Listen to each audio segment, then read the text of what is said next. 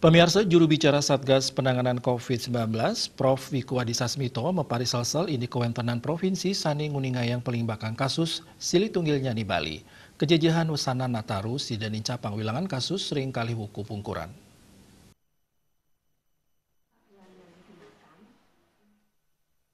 Anut data pinih anyar, keuningin wenten penincapan kasus aktif saking mekatah provinsi.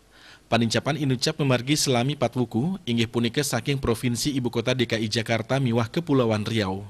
Raris penincapan selami tigang wuku, keuningin rau saking Kalimantan Selatan. Selanturnya nih, memargi selami kalih wuku, silih tunggilnya nih memargi ring Bali. Asa punika taler, Wenten Aceh, Sumatera Utara, Banten, Nusa Tenggara Barat, Kalimantan Tengah, Sulawesi Tenggara, miwah Papua. Nampenin kahanan puniki, maka sami Pemda Kaaptyang sida namakin penincapan kasus sane presiden lima kering mekatah wuku sane jagirauh. Pikebat inucap memargi sangkaning wesanan libur periode Nataru.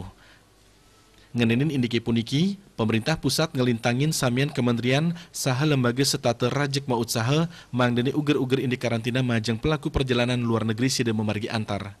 Tatujon yani wantah antuk nambakin pengelalahan lokal saking pasien positif varian Omikron. Kabuatan Taler, samian daerah miwah angge mang di mesikian, sejeruning nambakin importasi kasus ngelimbah kering tengah hingkrama, tur indikasi transmisi komunitas.